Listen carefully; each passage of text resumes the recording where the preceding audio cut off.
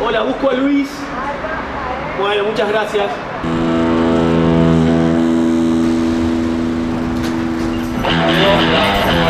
Vamos a una vueltita. Me parece muy bien. Subí que te llevo.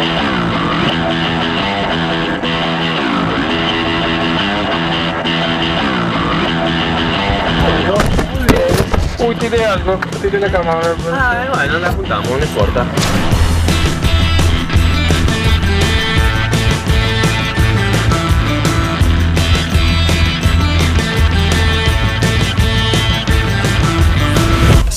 Mañana vamos con lente de sol. Sábado la mañana viene así.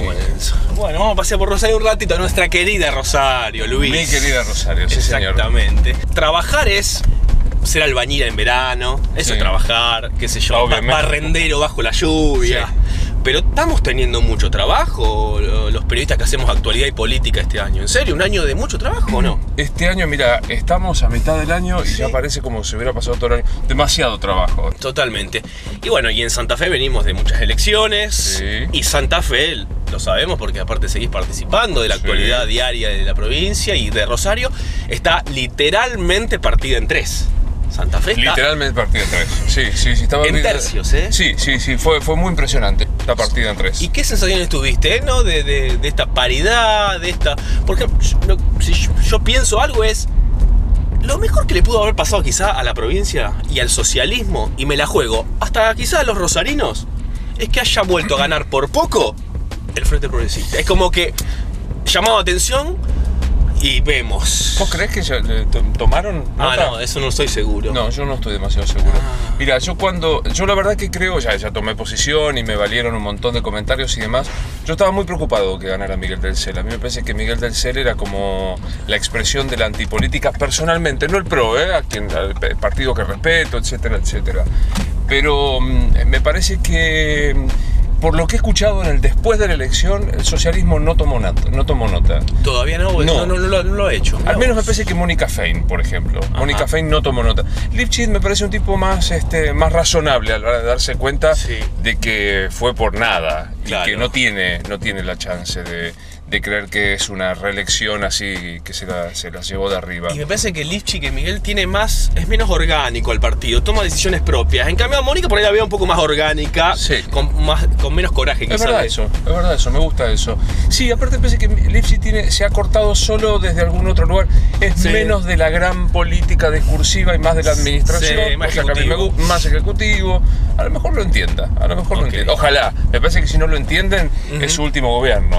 Porque con un poquito más de suerte, con un poquito, con otro candidato, con una María Eugenia Bielsa jugando desde otro lugar. O definiendo antes una- Claro, qué va a claro. ser. Ojo, Sí, eh. Ojo, no sé lo que hubiera pasado.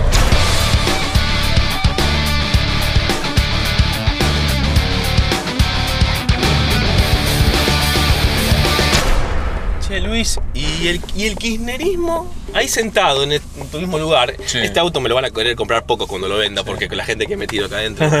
eh, me dijo el Agustín Rossi, Sí. cuando le pregunté qué pasa con el kirchnerismo a partir de diciembre, seguimos, vamos para adelante. Es un punto y seguido, Es un- pero es un punto. No es un punto y aparte, digamos, ¿no? Es un punto y seguido, pero es un punto, digamos, ¿no?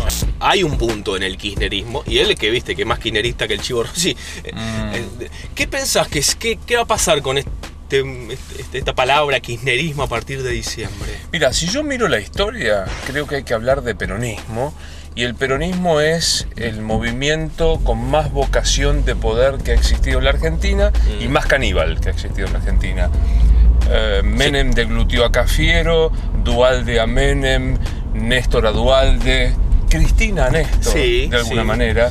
Entonces no tengo por qué no pensar que el que venga, si es que gana por supuesto, si es Scioli, va a deglutirse a, a- Al kirchner- el siolismo, sí. el siolismo al kirchnerismo. ¿Por qué no? Digamos, esto ha sido siempre así. Yo estoy bastante gorila últimamente, bastante más gorila. Sí, estás digo- estás bastante este, este, crítico, muy crítico. Sí, sí. Estás muy crítico. Bueno, esto es muy simpático porque los, los críticos del kirchnerismo me dicen tibio y los kirchneristas me dicen que mí- soy gorila. a mí me dicen lo mismo. Bueno, muy difícil, no importa. Este es un detalle personal que no me importa. Ya lo vamos a charlar, ya lo vamos a charlar, está claro. Que el kirchnerismo no es nada Se más come al anterior. Sí, es una expresión del peronismo. de- Claro. de- come al anterior, El definitivamente. peronismo se come al anterior. Claro, lo que sí es que hay un siolismo que va a existir. Ya Eh, está. Aunque no nos guste, va a haber un tipo que va a firmar en un sillón solo, sentado. Es que ese es el tema, porque todo el mundo me dice, mirá, Scioli tiene a Zanini, tiene a Guado, Sí. a, a Axel, a Máximo, Sí. este, a Clery, todo Sí. esto. Tiene la justicia. Pues ¿sabes qué? La billetera y la lapicera la va a tener Daniel Scioli. Claro. Y esto en un país unitario como el nuestro e hiperpresidencialista, ¿Cómo decís, che? eh, Mirá vos, yo, no veo por qué. lo- Pero a, mí, sido a mí me quedan dudas.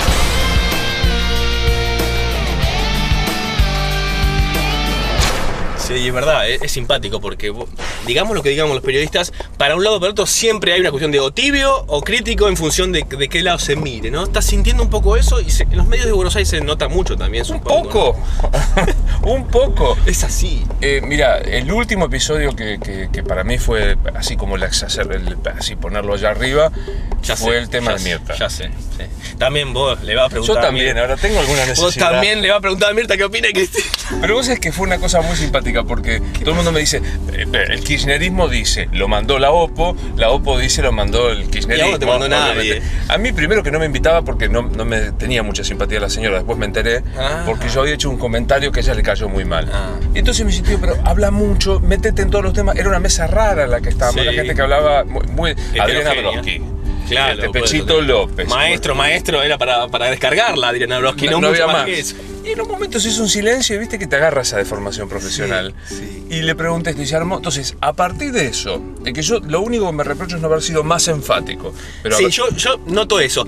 Vos tuviste muchas oportunidades y, Sí. la- y, la- y trataste de que quede claro que vos no estabas de acuerdo con que, le- que- que esto es una. pero debí haber sido más enfático. De haber, eh, no, no te- es difícil te- no te- atropellar, no ¿no? te persiga por, por eso, porque fuiste, lo dijiste, ¿no? Quizás No, no, claro. muy enfático, lo intentaste decir. Digo, puse Videla, puse la Revolución Libertadora. Claro, le la dije, palabra, la palabra este, autoritarismo, la palabra este, Dictadura. dictadura es tan importante en nuestro país que banalizarla así, ¿no? pero Pero a partir de ahí tuve una, una semana heavy, ¿eh?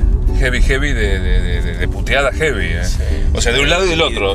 Esto es una dictadura, imbécil, estás laburando para el kirchnerismo. Y del otro lado, ¿cómo no te levantaste este cómplice de la dictadura? O sea, una Sí. cosa tremenda. No, no, por supuesto que, que- que estamos viviendo en ese, en ese momento. Quizás yo lo único que sí, la única cosa que por ahí podemos polemizar es que si no les tiraste un centrazo a la cabeza a Mirta, ¿nos interesa la opinión de Mirta? Eh, a ¿Me yo- entendés lo que con todo respeto te lo no, digo? totalmente. A ver, a mí me parece que. mm, digamos, lo mío era una curiosidad y casi fue. Si vos me, si me preguntás si lo volvería a hacer, recontra porque fue un hallazgo periodístico. Claro, claro. O sea, yo trabajo, vista, yo sentí que trabajaba de periodista en ese momento. No, ahora, Para generar interés público. tiene que saber que no es una charla de café la que estábamos teniendo. Y una enorme trascendencia. Entonces, haber, haber también, este, insisto, haber sido más terminante, no creo que esto sea una dictadura, pero sí se tenía que eh, digo, lo- y lo redobló. Al, al fin de semana lo dijo después. Y después vino Carrió, eh, eh, Carrió diciendo Cielo es un imbécil y yo peleándome de vuelta con, con Carrió. Entonces dije, aflojemos, el problema soy yo, no son ellos, definitivamente.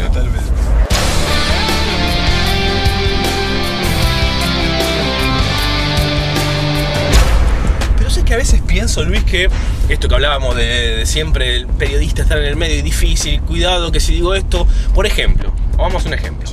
Si yo digo que lo digo y lo pienso, la oposición en este país no pega una, Mm. ¿me hace un poco kirchnerista? Hoy sí. Claro, ¿viste? Digamos, Te- porque te hace un poco kirchnerista hoy sí. y yo lo creo a eso. Yo también. ¿Vos también? Obviamente. Hoy sí, porque sabés que ganó la batalla cultural Néstor. Néstor cuando se pelea con Clarín, recuerdo que fueron socios, Clarín tenía todas las tapas cuando Alberto Fernández era el jefe de Sí. gabinete, cuando él se pelea, por los motivos que sean por Telecom o por, por- por- por distintos intereses, él decide que como no puede este, tener más poder que, que el periodismo, decide eh, parcelar el poder del periodismo y po- nos pone, y nosotros entramos a esto, a pelarnos a todos entre nosotros. Ajá. Entonces, hoy no hay posibilidad de argumentar. Néstor fue muy, muy vivo. De- quitó la argumentación Ajá. y tomó las banderas de, no sé, la pasión, la militancia o lo que vos quieras. Eh, El, el jugársela, tenés que siempre estar, viste, a fondo y no, la, vida no es así. Exactamente. obviamente. Se ha espectacularizado el discurso, o sea, tiene que ser de impacto. Esta, esta cosa de intratabilizar la política, que tenés que decir título y bajada y no entras más, y Sí. puteada en lo posible. Me gustó esa, esa de- la intratabilidad de la información de la política. Hay que intratabilizar todo, digamos, es esta cosa de que eh, no es una crítica intratable, es una definición, ¿eh? ¿Viste? Intratables es, Es un un lugar de debate político con título y bajada. Y un formato. Nada más. Y eso te parece que es nafta al fuego. Ay, claro. Ya somos un poco así, más los medios. Más la edición, digo, Claro. vuelvo al caso de Mirta. Eh, Yo vi la edición que hizo Canal 13, no te digo 6, 7, 8. Canal 13 editaba solo la- la- lo que decía Mirta y yo quedaba mugiendo como una vaca haciendo mmm. Y el tipo que lo ve dice, pero es un nabo este tipo que no contesta. reaccioná, Luis. O sea, abra- abrí la boca. Pero bueno, Y no so- son reglas, son reglas del juego. Totalmente, mirá vos.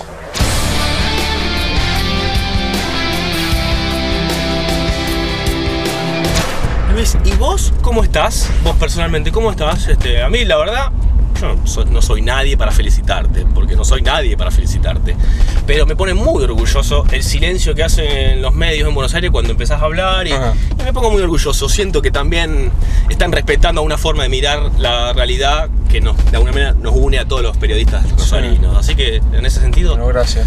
A ver, personalmente estoy muy bien. O sea, que tiene que ver con lo que es fuera del laburo. claro. Eh, y en el laburo, muy contento porque en muy poco tiempo, este es mi cuarto año allá solamente. Claro. Eh, la verdad que he encontrado un lugar, esto que vos decís, de, con más y con menos, ¿eh? Sí, con, sí, con- sí, con enojo, con adhesión, con crítica, con etcétera, etcétera. Claro. Pero siento que hay como un respeto por, por el laburo. Estoy muy cansado porque se labu- laburo mucho. Yo he laburado siempre mucho, acá, acá lo, también me ha Ajá. pasado. Pero allá estoy como trabajando mucho porque hay como una vorágine, hay una lógica del trabajo de aprovechar tu momento. Eh, entonces estoy muy cansado. ¿Y el costo-beneficio eh, eh, vale? O sea, cali- porque hay más medios, se invierte más en medios. ¿Eso se siente allá que uno labura más cómodo un poco? No sé. No hay. ¿Hay más posibilidades en Buenos Aires? Muchas más. O sea, hay mucha más rotación de laburo, Claro. hay muchos más medios, etcétera, etcétera. El costo-beneficio creo que depende de cada uno. Depende de lo que vos estés buscando. Ajá. Si vos estás buscando la notoriedad, claramente es allá. Claro. Solamente la notoriedad es claramente allá. Si vos estás buscando ser feliz con lo que haces, y depende de vos, no del laburo. De tu contexto familiar, de qué es lo que estás dispuesto a perder. ¿Qué te gusta ¿no? de la, digamos, Claro. este, ¿qué- ¿te gusta esta ciudad? ¿Te gusta, no sé, como hacía Nacho? Nacho trabajaba tres, Nacho Zuliani trabajaba tres horas en la radio y se iba a su casa y se iba a Roldán y era feliz. Y eh, fue más exitoso que algunos de nosotros, casi con seguridad sí. Casi con seguridad sí, ¿viste? Entonces depende de lo que quieras ¿eh? en la vida. Es, es casi filosófico. No sé, si a, no sé si a nadie le importa un poco lo que nosotros dos pensemos sobre nuestras carreras, pero yo soy más de esa línea, ¿no? De, de- a mí me importa ser feliz, ¿viste? Pero eh, totalmente, pero aparte digo, yo me fui a Buenos Aires porque se dieron 150 circunstancias personales para hacerlo. Pero yo era muy feliz trabajando acá. Eh, y acá yo estaba pasando por una situación profesional, no digo de techo de ninguna manera, pero de cierta, viste, de cierta rutina. Girar en rutina, círculos. rutina. Rutina. Este, y Mira, lo voy a contar, este, y esto no implica hablar mal de, de- de quien me lo dijo, Ajá. que no te lo diré. Pero yo me acuerdo que fui a hablar con alguien que era responsable de la empresa donde yo trabajaba, el Canal 3, Ajá. y le dije, mire, me ofrecieron irme a trabajar a Buenos Aires. ¿Y sabes qué esperaba yo? Que me dijeran, no, quédate, a ver qué podemos hacer para que te quedes. No hay problema. Y quien me contestó me dijo, anda, te va a ir mal. Vas a volver en un año. Y fue tan, tan, tan, este, fue el, el empujón final que a mí me hacía falta. Yo dije, así que me va a ir mal, mira cómo me voy y mira cómo me va a ir bien. Y creo que más que por, por orgullo, que por talento, empecé a pelear para que me fuese bien allá. Este, pero, Le, vamos- le podemos agradecer a esa persona que te dijo eso, que, que tan bien te hizo para ponerle más fuerza a, a tu carrera allá. Se lo agradecemos por esa frase. Le agradezco muchas cosas. Una, haberme dado trabajo en donde trabajé, Ajá. haberme enseñado un montón de cosas, e incluso haberme tenido poca confianza y haberme empujado a que me fuera a Buenos Aires.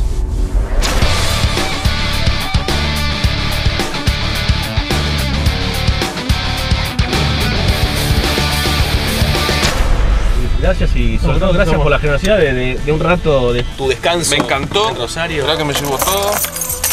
Querido. Muy amable. Lo mejor y, y felicitaciones por el laburo. Me gusta mucho lo que haces. Y a mí también, y, la verdad que nos pone muy orgullosos que seas nuestro embajador periodístico en, en, en Así te puse ese título, pobre. Claro, embajador ¿Te, ¿Te, debo la nafta no? Te, que, te lo pago. Eh, no, por esta vez, fuera. Gracias. Gracias.